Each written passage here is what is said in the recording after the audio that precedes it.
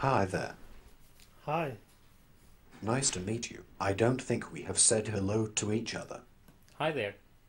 Nice to meet you. What is your name? My name is Samer. What's your name? My name is Furhat. That's I come from the Royal Institute of Technology in Stockholm. Um, where do you come from? Why do you have a fur hat? This is the latest fashion in robot clothing. It looks nice. That was really nice of you. How old are you?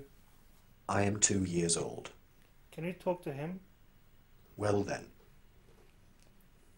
Can we play a quiz game? okay, let's play a quiz. In America, what do people call it when children go out to play during a break at school? Recess, relaxing time, funny time, or outside play? Funny time.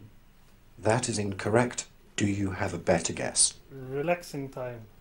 That was wrong. The correct answer was recess. 5 plus 5 equals what?